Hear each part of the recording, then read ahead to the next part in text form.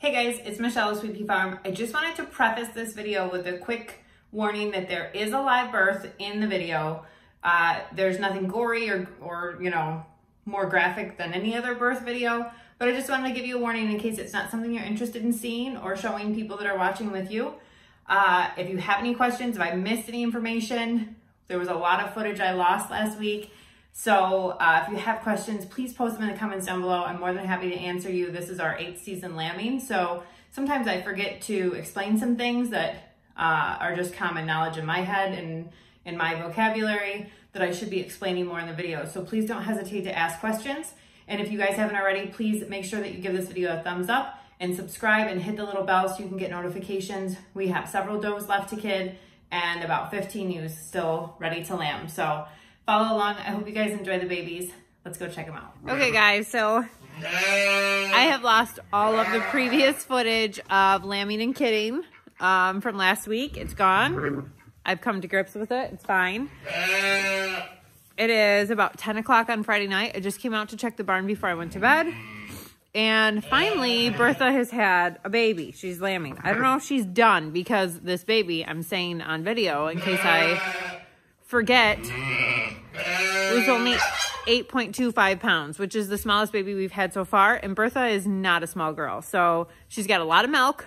Um, I'm hoping, guessing she might have a new baby. And this is the first baby out of Enrique that we've had on the farm. Enrique is our new ram from Niddle Livestock, and we finally have a baby out of him. So I'm going to show you the baby. It's a girl. She's had her belly button dipped. She's had her BoSe shot, and I weighed her, like I said, 8.25 pounds. So let's check her out, and I'll show you how she's doing. So here she is, fresh out the gate. I have had some um, warm, dry towels to help dry her off. It's a little chilly.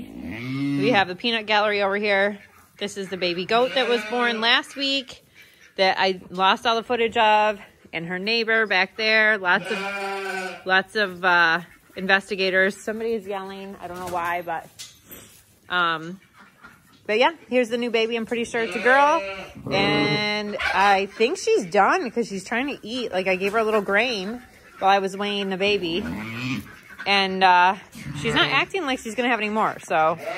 I'm going to get this baby nursing to get her warmed up, and uh, we'll keep an eye out and see if there's While more. While we're waiting to see if there's more babies, a quick recap since, like I said, I lost all the footage. We have had uh,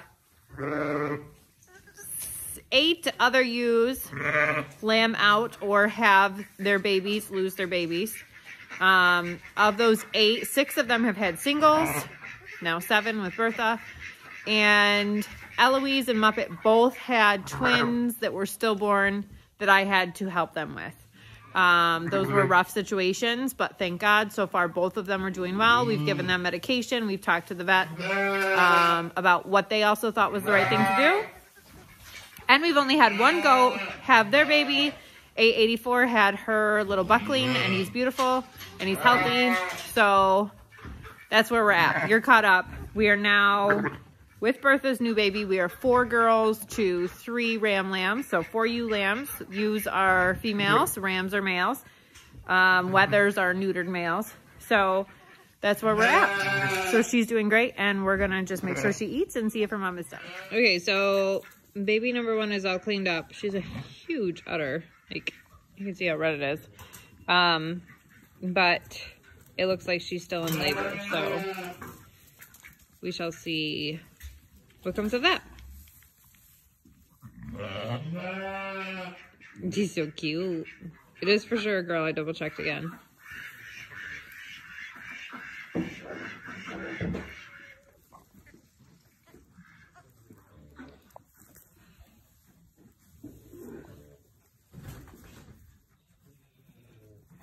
Good job, Mama.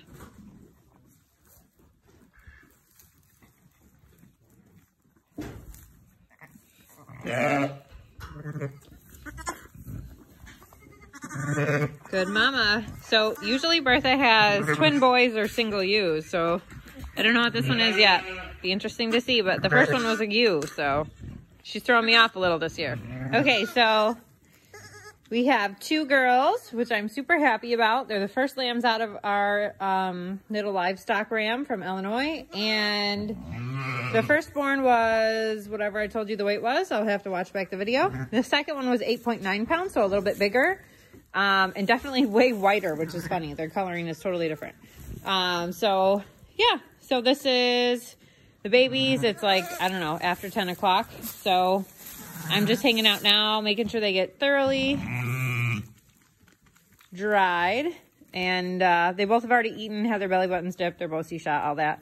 But I just want to make sure that they are really up and going um, before I go in for a little bit. Okay, so one piece of information that um, I shared on the video that I lost was that when one way to check to make sure babies are well is that when you wake them up, that they stretch. So you want to make sure that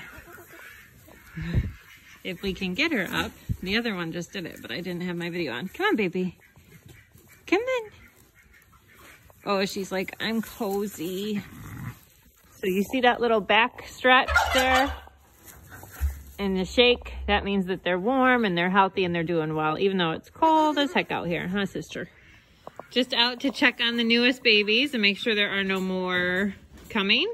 It's been a uh, pretty temperature, significant temperature change. We were in the 30s and now I think the high today was 10. So these guys are doing great. There's no sweaters, there's no heat lamps. I have been up um, every couple hours to make sure that they have been eating because I want to make sure that they stay uh, warm and fill their bellies, but they're doing great and they have a really good mama, so that helps.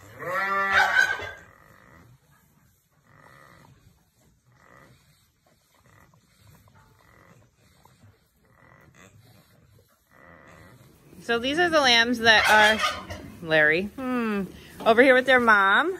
Um, the moms are eating right now, so they're not kind of paired up, but that's Tommy in the back, the big one. Oh, I'm not really sure. There's five in here. So these are the three boys, I think, right here. And then there's a girl there. And there's another girl right there. And then uh, there's girl one, there's three girls over in the jug still. So these guys have all had their tails banded. They've been up. It's zero degrees out right now outside. And uh, you can see they're all healthy and happy, bouncing around. We don't don't use heat lamps after they're this. We don't use them usually at all, but we certainly don't use them at this age. Um, and they just do their thing. They stay happy and they eat. They're already eating hay. Tommy's been eating hay and grain. Everybody's happy.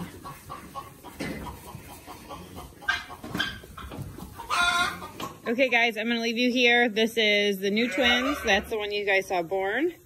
The little buckling we've had, still the only goat kid that's been born yet. And back there is Abby and her daughter, Dina's granddaughter. So I'm gonna keep you guys posted. I wanna end this here so that I can restart for this week on Any Babies Born, and I hope that I don't uh, miss too much information that I can share with you guys. But have a great week, guys, and I'll see you Wednesday on our live at 6 p.m. Eastern Standard Time, and then we release videos at 7 or at, on Thursday, uh, usually at 7 in the morning, uh, as long as I don't lose the footage. So thanks so much for hanging out with us, guys. Have a great rest of your day.